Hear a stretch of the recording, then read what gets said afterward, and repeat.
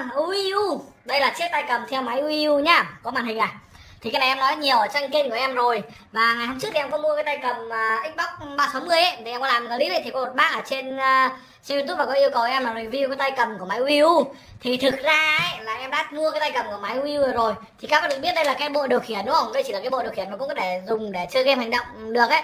Nhưng cái này chỉ là bộ điều khiển bình thường thôi. Còn nếu mà chơi một số game mà chúng ta cần cái tay cầm ấy thì Wii U nó có một cái tay cầm. Đây thì em đã từng mua rồi đó, em đã từng mua tay cầm rồi nhá. Và hồi đấy thì em có có làm clip bóc hộp nhưng chẳng may em là mất clip đấy. Thì về sau em không làm nữa không cho lên nữa. Thì rất là tiếc. Nhưng mà hiện tại bây giờ các bác yêu cầu thì em vẫn sẽ làm. Thì câu chuyện hồi em mua cái tay cầm nó khá là buồn cười. Thì mục đích đầu tiên em mua về để chơi và em chỉ mua hai cái thôi. Thì em có lên shopee nhá. Cái này mua trên shopee này. Thì em có lên shopee như này này. Đó, thì em nhìn ở đây nó có hai loại một loại là 214 nghìn và loại là 429 nghìn đây này. Em ấn vào đây và em mua thì nó có cái là lách một lách hai này. Em cứ tưởng nó là loại một và loại hoa hai. Nó xịn hơn đúng không? Đó bởi vì ở trên này thì em nhìn cái ảnh em không ưng lắm nó không có logo hay gì cả. Ừ, ok là việc mà shopee hiện tại bây giờ là liên quan đến bản quyền thì người ta sẽ không bán những cái sản phẩm có in thương hiệu. Đó liên quan đến thương hiệu ấy rất là chặt chẽ bên trung quốc hiện tại là như vậy. Cái này là gửi bên trung quốc về chứ không phải là shopee việt nam không phải tại việt nam nên là mày mua gửi bên nước ngoài về này đó thì cái tay cầm này em thấy có hai loại đó là một loại 214 nghìn và một loại là 400 uh, ờ, hơn 400 đó thì em cứ tưởng là hai loại khác nhau và em đã đặt cái hơn 400 này và em đặt hai cái. Thì khi em nhận được hàng em nhận được hẳn bốn cái. Rồi khi em nhận được hàng nó như này nhá nó chỉ như này thôi và là bốn cái. Này một cái thì em cho bạn em rồi. Một cái em cho một cái bạn cũng xem kênh youtube và có chia sẻ hộ em ấy và có quảng cáo kênh của em thì em đã cho một bạn một cái rồi đó và còn ba cái thôi bởi vì em chơi không hết mà. Thì lúc em mua về là bóc hộp ra một hộp kiểu như này thôi này. Đó cái clip bóc hộp đấy là mất rất là tiếc. Nhưng em sẽ hình dung lại cho các hiểu nhá thì trong cái nó có túi bọt và trong đó còn cái phụ kiện những cái phụ kiện như này. Đó, có cái này của em chưa thấy bóc luôn. Đó đó là cái dây sạc. Một cái dây sạc nó theo dây sạc mini USB nhá mini USB cái dây sạc kiểu như tay dây sạc của tay cầm PlayStation 2 ấy. À PlayStation 3 ấy. Đó như này này. Đây là tay không dây. Đó dây sạc như này đó. Một cái cuốn sách hướng dẫn sử dụng. Ở đây Đấy nhá. Thì cái này nó chỉ dành cho Wii U thôi. Nó chỉ dành Wii U thôi, nó không chơi được trên bất cứ máy tính, hay là Nintendo Switch, hay gì cả mà chỉ chơi trên Wii U thôi. Thì ở đây nó hướng dẫn rất là nhiều ngôn ngữ. Em không quan tâm gì đến cuốn sách này lắm, nó hướng dẫn kết nối và hướng dẫn cách sử dụng thôi. Thì đây là tay cầm không dây, có sử dụng pin. Đó và cách kết nối của nó đến Wii U thì nó tương tự như tay xịn. Đó. Thì sơ qua tay cầm nó hình thức như này là y tay xịn luôn các nhá. Thì tay xịn nó khác một cái là có chữ Wii U ở đây nó vào dưới này thì nó tháo rồi được cục pin ở khu vực dưới này. Nhưng ta xịn đã tên lỏng nó liền hết và nó chỉ có tên là wireless pro game pad thôi. Chứ nó không có tên nó không dám để UI ở đây nhé thì chúng ta hiểu là cái ta này chỉ dùng UI thôi. Thì khi mà chúng ta muốn kết nối với cả cả cả cả đầu UI ấy thì rất là đơn giản là trên đầu UI nó có một cái nút màu đỏ là nút uh, kết nối này chúng ta ấn vào đây và sau đó chúng ta ấn cái nút này. Thì nó sẽ kết nối thì em lấy cái nút sẵn lại nha. Đây cái này là bị hết pin luôn rồi. Đây, là có pin đã khi ấn kết nối thì nó sẽ nhận dạng tay luôn như này đó cái này em kết nó sẵn rồi. Thì vậy thì về cái trải nghiệm của cái tay cầm này thì khá là đẹp. Đó các bạn nhìn thấy qua hình thức nhé tay xịn nó có chữ U đây và tay này thì nó không có và nó có ở dưới này nó có đèn bốn này là báo là tay một tay hai tay ba và tay bốn. Đó kết nối được bốn thiết bị cùng một lúc. Nếu mà chúng ta kết nối với, với cái này hai ngày rồi thì chúng ta đấy à, cái này nhận là hai nhá. Chúng ta kết nối hai ngày rồi thì nó chỉ nhận được thêm hai ngày nữa. Có nghĩa là trong một thiết bị Wii U nó chỉ kết nối được bốn thiết bị cho nó là hai cái này và hai cái này. Đó có lưu ý nhá. Đó thì uh, cái này khác các bạn nhìn là đây là cái tay xịn này cái tay đẻo của em thì em cho rồi còn đây là cái tay xịn tay xịn em lại được cho lại. Đó thì các bác có thể nhìn cái nút màu xanh và cái nút màu xanh ở trên tay đẻo nó hiển thị hoàn toàn khác nhau. Chỉ cái nút màu xanh rất là đẹp này nút tay đẻo nó chất rất là rất là lông cô và sáng này. Đó và trên tay xịn thì thường nó có những cái uh, ký tự mà ví dụ như là về tiêu chuẩn hay là về modem hay là về cái gì gì đó ở trên này nhưng mà tay xịn không bao giờ có đâu à tay không bao giờ có đâu.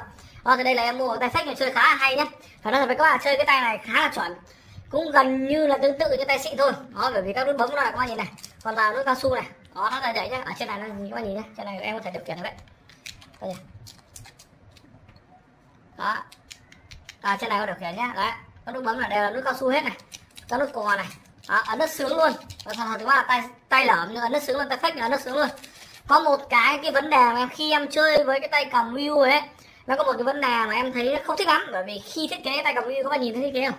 Thiết kế của cái tay cầm Wii U nó khá khác so với nhiều tay cầm khác. Ví dụ như là tay cầm PlayStation thì hai cái analog mà đưa xuống đây và cái bộ này sẽ đưa trên này. Đó cái bộ phím phím phím phím phím phím bấm này sẽ đưa trên này. Và cái analog đưa xuống đây. Phía tay cầm của um, à, Xbox 360 hay là tay cầm của Wii U à, Nintendo Switch ấy, cũng của Nintendo ấy thì cái analog này sẽ đưa xuống này và cái D-pad đưa lên trên này thì khi chúng ta sử dụng cái đế bát này và phía này sẽ dễ hơn. Và cái tay cầm này có một cái nhược điểm là khi các bác chơi bằng cái Wii U này quen thì nó ấn khá xa nhé cái bàn bàn tay Wii U màn hình ấn khá xa như này. Đó thì các bác sẽ khá bỡ ngỡ với cái, cái này. Đó bởi vì hay bị ấn nhầm. Đặc biệt là chơi cái game à, em hay chơi game mập đây uh, Zelda Breath of Joy ấy. Thì khi em ấn bằng cái này cách xa nhau và những cái phím chức năng ở đây rất là sướng. Nhưng khi em ấn vào đây ấy thì em hay bị ấn nhầm có một cái nhược điểm như vậy thôi và khi này nếu mà dùng D-pad và cái phím này nó quá là gần nhau ấn nó sẽ không sướng. Có mỗi cái nhược điểm thôi còn lại chơi rất thích nhá chơi rất là thích nhá. Này không có cái đây chơi rất thích. Đó thì cái thiết kế của nó thì khá là xịn khá là giống cái tay cầm gốc của Wii U này. Đó các bạn nhìn nhé là cái cả đá lốc này đều có cái đường màu tròn như này. Đó, đó các nút bấm nhá là nó in khá đẹp này. Cái chất lượng in của nó rất là tốt.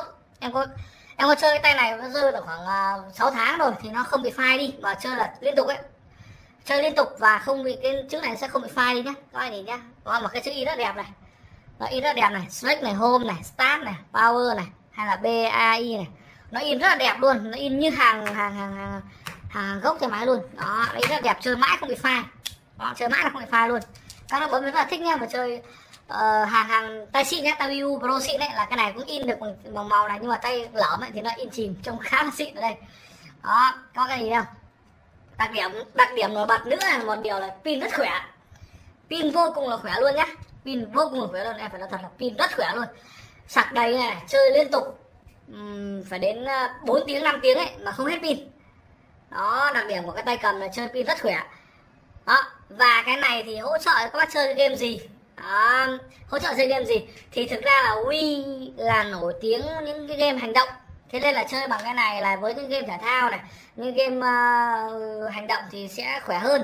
Còn nếu một số game bắn súng ấy em có mua cái zapper em review các bác game Call of Duty chơi một cái zapper đúng không? Thực ra là chơi để cảm giác thôi chứ không bao giờ sướng bằng cái việc chúng ta chơi bằng tay cầm. Đó chơi bằng tay cầm nếu mà chúng ta chơi game Call of Duty thì chơi sướng hơn rất là nhiều. Cảm tưởng như chúng ta chơi giống như chúng ta chơi ở trên ờ, cái PlayStation ấy là chơi những game đấy chơi bằng tay cầm thích rất là nhiều. Thì bây giờ em chơi thử các bác xem nhá.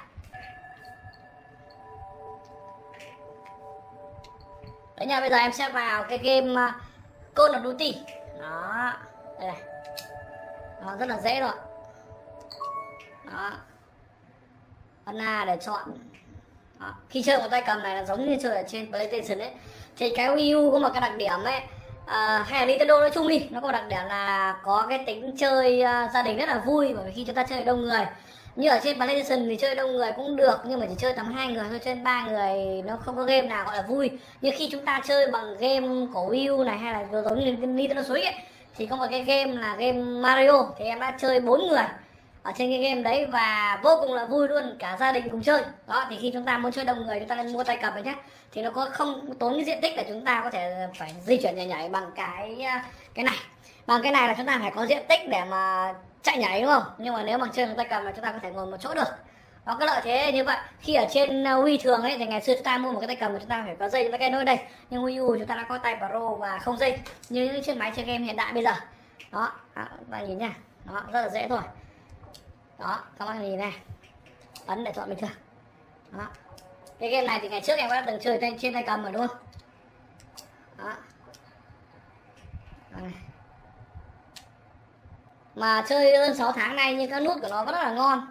Đấy, thật cả nút rất là bền nhé món nút bấm rất sướng luôn. Mà em chơi nhiều bằng tay cầm ấy chứ không chơi nhiều bằng bằng những cái khác đâu.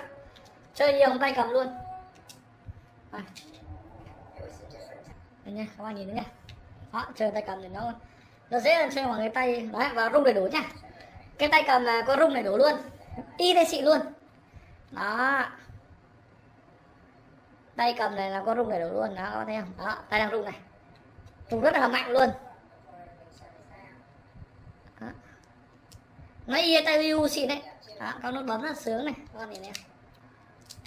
Đó. Và chơi rất là nhiều game và cái này nó rất là dễ điều khiển nhé. Nó tương tự như là, là tay cầm gốc theo Wii U thôi.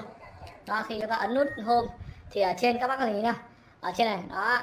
Đấy nha em nhìn lại chỉ lại em xem nha đây nha đây là dung lượng pin của tay cầm trời sẽ báo dung lượng pin của tay cầm nhá. Đó là tay một này, đó, số 1 này. Đây, khi mà em kết nối cái này nhá. Là số 2 nhá. Đó, thì nó báo dung lượng pin và tay cầm số 2 kia. Đó, anh nhìn thấy không? Đó, cái tay cốc thì gần hết pin rồi. Cái tay cốc thì gần hết pin rồi. Và cái này thì đang còn rất là nhiều pin, chưa rất là bền nhé nó rất là dễ điều khiển thôi. Đó, lại lúc này một phát này này. Đó rất là dễ điều khiển. Nhiều khi không cần dùng đến à, cái màn kia, cái màn kia hết pin thì chỉ dùng tay cầm thôi.